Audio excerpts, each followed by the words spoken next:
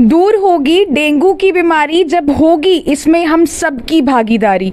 नमस्कार, मैं हूँ नीरा माटा और इस समय आप ये लाइव तस्वीरें देख रहे हैं करनाल के विर्क हॉस्पिटल से।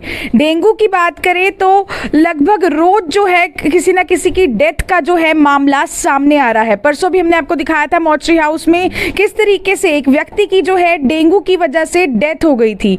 इसी पर बातचीत करने के लिए आप सभी लोगों को जागरूक करने के लिए डॉक्टर विर्क हॉस्पिटल से डॉक्टर नेत्रपाल हमारे साथ हैं, एक बार उनसे बातचीत कर लेते हैं कि क्या कुछ प्रिकॉशंस आप लोग लें कि आप सब लोग इससे बच कर रहे? हैं क्योंकि कोरोना के बाद जहाँ अभी हम इससे बाहर निकले नहीं थे कि डेंगू का अटैक जो है करनाल पर लगातार जारी है। लगभग दिन के आठ से दस केसेस जो है देखने को मिल रहे हैं। एक बार बातचीत कर लेते हैं।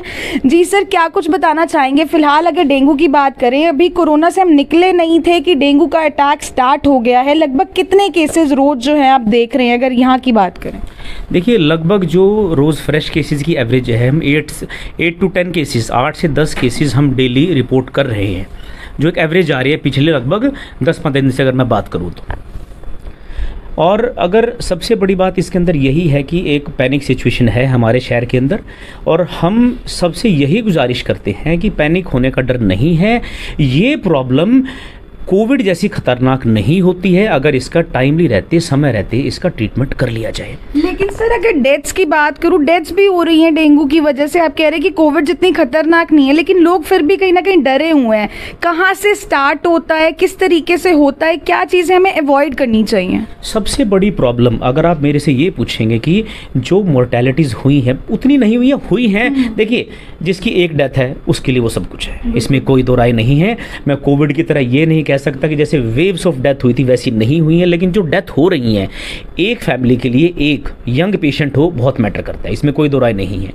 जो सबसे बड़ा रीज़न है डिलेड डेथ का, या जो डिलेड मोर्टेलिटीज़ आ रही हैं पेशेंट की, वो रीज़न है कि डिलेड ट्रीटमेंट हो रहा है। पेशेंट डिले कर रहे हैं। हम सबको बार बार ये कह रहे हैं कि किसी को भी अगर डे वन पे सिम्टम्स आ जाते हैं तो बचाव यही है कि अपने नज़दीकी फिजिशियन से जाकर मिल लें। वो सिम्टम्स के हिसाब से, आपके टेस्ट के हिसाब से आपको गाइड कर देंगे कि आपको घर पे रह के मैनेज करना है, आपको हॉस्पिटलाइज होना है। मैक्सिमम पेशेंट घर पे मैनेज हो सकते हैं, अगर वो पहले डे वन डे टू पे फिजिशियन के कॉन्टैक्ट में आ जाए। अक्सर जहाँ हमें नुकसान देखना पड़ रहा है, या मैं ये कहूँ कि हमारे पास भी अगर जो कॉम्प्लिकेटेड पेशेंट आ रहे हैं जिसमें मोर्टेलिटी का रिस्क ज़्यादा है, मरने के चांसेस ज़्यादा बढ़ जाते हैं, वो पाँच, सात, आठ, दस दिन के बाद आ रहे हैं। उसमें चार से पाँच दिन घर पर ट्रीटमेंट होता है सेल्फ ट्रीटमेंट जिसको बोल देते हैं दे डोंट नो मेडिसिन लेनी क्या है। क्योंकि उसके भी अपने साइड इफ़ेक्ट हैं। सेल्फ ट्रीटमेंट की आप बात कर रही हैं, बहुत सारे लोग ऐसे हैं जिनको अभी तक सिम्टम्स का भी नहीं पता है, ठीक है? तो एक बार हम सिम्टम्स पे पहले डिस्कस करते हैं कि लोग एटलीस्ट जागरूक हो कि ये ये सिम्टम्स आते ही फ़र्स्ट स्टेज पर ही अपने फिजिशियन से वो कॉन्टैक्ट कर ले। तो क्या कुछ बेसिक सिम्टम्स रहते हैं स्टार्टिंग स्टेज पर कि जब हमें डॉक्टर से कॉन्टैक्ट करना चाहिए साथ के साथ? ये ऐसा बुखार है, इसको आइडेंटिफाई करना बहुत ही आसान है। इसके जो सिम्टम आएँगे ना, जो हमारे पास यंग पेशेंट हेल्दी पेशेंट थे, उनकी पहली स्टेटमेंट यही होती है, जैसे कोई जानकार भी है रिलेटिव भी है फ़ोन करता है कि, सर, ऐसा बुखार मुझे कभी लाइफ में नहीं हुआ। इसका मतलब क्या है? कि वो फीवर तो हंड्रेड टू हंड्रेड थ्री किसी भी स्टेज पर आ सकता है। इसके अंदर बहुत ज़्यादा सिर दर्द होगा आपको बैक एक बहुत ज़्यादा होगा, शरीर टूट जाएगा। पेशेंट ये कहेगा within twenty four hours की, सर, मेरे तो खड़ा ही नहीं हो जा रहा। यंग पेशेंट की बात करो, चलो ओल्ड एज तो ज़्यादा ढीला हो सकते हैं। ये ऐसा बुखार है, इसकी सिम्टम्स ही ख़राब हैं। शुरुआती स्टेजेस के अंदर। तीन से चार दिन ये बुखार पूरे शरीर को तोड़ता है। बॉडी एक्स बहुत ज़्यादा होते हैं इसलिए इसको ब्रेक बोन फीवर भी कहते हैं। हम्म। हड्डियाँ बहुत ज़्यादा टूटती हैं। अगर आपको ये लक्षण आ रहे हैं तो आपको इमीजिएटली अपने फिजिशियन से कॉन्टैक्ट कर लो। सबसे पहला काम सेफ्टी के लिए क्या कर सकते हैं? इमीजिएटली कई बार पेशेंट एक दिन वेट कर लेते हैं। तो आपको हर चार से छः घंटे बाद सिंपल जो क्रोसिन आती है पैरासीटामोल आती है वो सेफेस्ट मेडिकेशन है ताकि आपका fever hundred two hundred three cross ना करें। तो जैसा कि सर ने बताया कि मेन जो इसके सिम्टम्स रहते हैं वो आपको बॉडी एक बहुत ज़्यादा होने वाला हेड एक बैक एक इस तरीके के सिम्टम्स आते हैं फीवर रहता है, और अगर इस तरीके के सिम्टम्स आते हैं तो डीले बिल्कुल भी ना करें, क्योंकि फ़र्स्ट स्टेज पर जो है, इसको कंट्रोल किया जा सकता है, और डेथ रेट को भी जो है कंट्रोल किया जा सकता है, लेकिन अगर आप पाँच से सात दिन के बाद सेल्फ मेडिकेशन कर कर बाद में डॉक्टर के पास जा रहे हैं तो उसको लेकर जो है, काफ़ी ज़्यादा दिक्कतें आगे खड़ी हो सकती हैं, और अगर मेडिकेशन की बात करें, चले एक दिन आपने देखना भी है तो जैसा कि सर ने कहा कि हर चार से पाँच घंटे के गैप पर आप एक सिंपल क्रोसिन की टेबलेट ले सकते हैं पैरासीटामोल ले सकते हैं, ताकि जो टेम्परेचर है वो अंडर कंट्रोल रहे। इसके बाद बात कर लेते हैं, सर, अगर डीले हो भी जाते हैं पेशेंट्स थोड़ी लेट भी आते हैं, उसके बाद क्या कुछ रहता है? देखिए उसके बाद डिपेंड करता है कि पेशेंट किस स्टेज पे है। सवाल ये उठता है कि जो पेशेंट डिलेड आ रहे हैं कॉम्प्लिकेट हो रहे हैं। अगर यंग पेशेंट हेल्दी हैं इसमें कोई दो राय नहीं है। अगर यंग पेशेंट होगा तो उसकी रिकवरी के चांसेस ज़्यादा हैं। आपको ध्यान उन पे ज़रूर देना है उन पर तो हम चांस ले ही नहीं सकते जो पेशेंट हाई रिस्क है। क्योंकि आम जनता का ये सवाल बनता है हमारा फ़र्ज़ है बताना कि कौन सी पॉपुलेशन ऐसी है जिसके अंदर मोर्टेलिटी के जान जाने के ज़्यादा चांसेस हैं। बच्चों में चांस नहीं लेना है। ओल्ड एज में चांस नहीं लेना है। किसी को शुगर है, ब्लड प्रेशर है, हमारे पास कुछ पेशेंट एडमिट हुए हैं जो कि डायलिसिस पे चल रहे हैं किडनी पेशेंट नहीं चांस ले सकते। आप लीवर फेलियर के पेशेंट हैं, जिनका लंबा ट्रीटमेंट चल रहा है, जिनकी इम्यूनिटी बीमारी से लड़ने की क्षमता पहले ही बहुत कम है। वो तो दो तीन दिन के अंदर ही इतने डाउन चले जाएँगे, उनको बचाना मुश्किल हो जाता है। वो पेशेंट हाई प्रायोरिटी पे है कि उनको जितना जल्दी से जल्दी हो सके आपको लेके आना है। डिलेड ट्रीटमेंट हो भी रहा है, मैं यही कहूँगा, देखिए, जितना जल्दी आप पहुँचेंगे, वो आपके लिए बेटर रहेगा।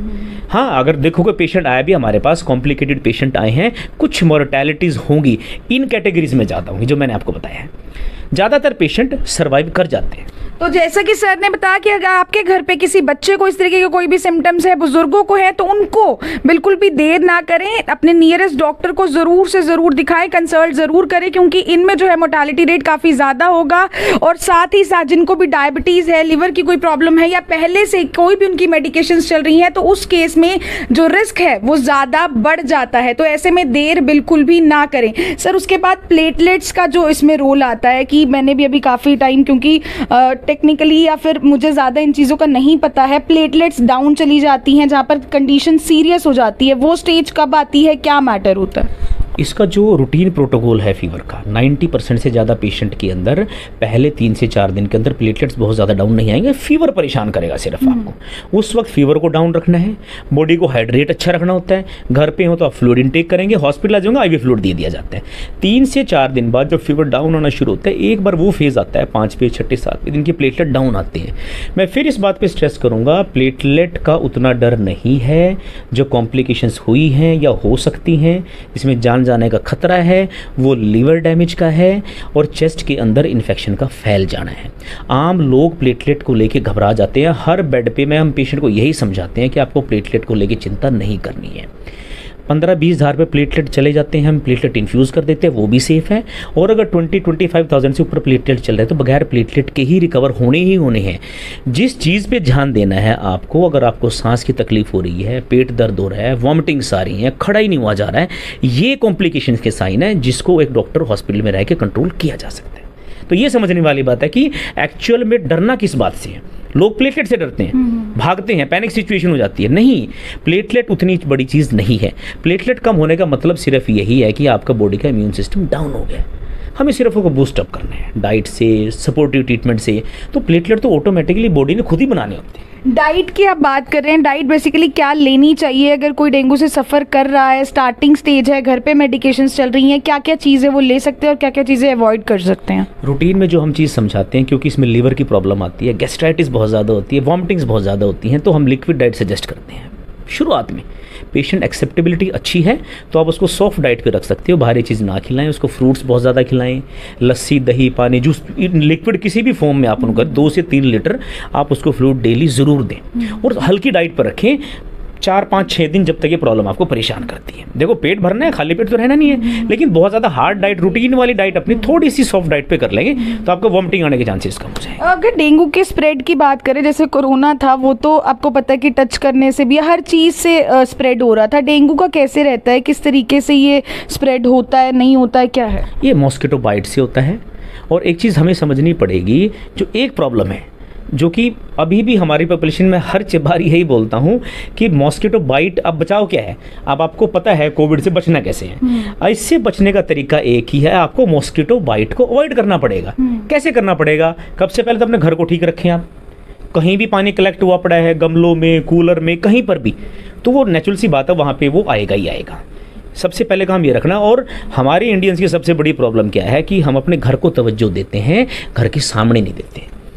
मैं अपने सेक्टर की बात करूँ कहीं की भी मैं बात करूँ आपको इतनी गंदगी मिलेगी आपको। हम ये सोचते हैं कि मैंने घर का कूड़ा सामने डाल दिया वहाँ पानी इकट्ठा हो मुझे कोई फ़र्क नहीं पड़ता। सामने तो पार्क ही है। अगर वहाँ पे पानी इकट्ठा हुआ पड़ा है तो मच्छर तो वहाँ भी होगा बच्चे वहाँ भी खेल रहे हैं। पहला तो ये ध्यान दीजिए। दूसरा सबसे इंपॉर्टेंट चीज़ क्या है कि डेली फोगिंग कराइए। अगर आपके एरिया में मॉस्किटोज हों जो हमारा सरकारी सिस्टम है तंत्र है वो एक्टिव है इस चीज़ के लिए। अगर आप फ़ोन करेंगे तो फोगिंग सबके यहाँ होती है। कराओ कोई दिक्कत नहीं है। दूसरा एक चीज़ जो कि हमेशा नेग्लेक्ट हो रही है। हम हमेशा बोलते हैं सवेरे शाम बच्चे खेलते हैं बुज़ुर्ग सैर करते हैं पार्क में जाते हैं अच्छी बात है। उस दौरान आपको अपने फुल स्लीव्स फुल ट्राउज़र्स या शॉर्ट नहीं डालने हैं आपने। मतलब पूरा ऊपर से नीचे तक कवर करके चलिए शूज़ डाल के चलिए। रीज़न ही वही है। अगर आप ये कर लेंगे देखिए मॉस्किटो बाइट के चांस आपके 90 परसेंट ज़्यादा कम हो जाएँगे। तो आपको डेंगू होगा क्यों? और ये बचाव मुझे ऐसा लगता है कि बहुत हमारी सारी जनता ही अनजान है वो, वो मैं रोज़ देखता हूँ। अब हम किस किस को समझाएँगे? लेकिन ये हमारे लिए सबसे बड़ा मैसेज आज की डेट में कह रहे हो मैसेज ये है कि इससे बचने का तरीका ही यही है। तो जैसा कि सर ने बताया कि अगर आप लोग शाम को वॉक पे जा रहे हैं जिम जा रहे हैं, कहीं पर भी बाहर निकल रहे हैं टोटली कवर्ड रखिए अपने बॉडी को फुल स्लीव्स ही पहनी अपर भी लोअर भी जो है कंप्लीट नीचे तक आप जो है कवर्ड होने चाहिए, क्योंकि शॉर्ट्स वगैरह में अगर जाएँगे मॉस्किटो बाइट का खतरा काफ़ी ज़्यादा बढ़ेगा और उसी से डेंगू स्प्रेड होने का भी जो चांसेस है, वो काफ़ी ज़्यादा बढ़ जाते हैं। और जैसा कि सर ने कहा कि आसपास सफ़ाई का ध्यान रखना बहुत ही ज़्यादा ज़रूरी है। ये नहीं है कि घर में सफ़ाई कर ली, ठीक है, घर के आसपास बाहर का भी जो है ज़रूर ज़रूर से ज़रूर ध्यान रखें। वीडियो को शेयर करना बिल्कुल भी मत भूलिएगा। सर, जाते जाते कोई एक मैसेज?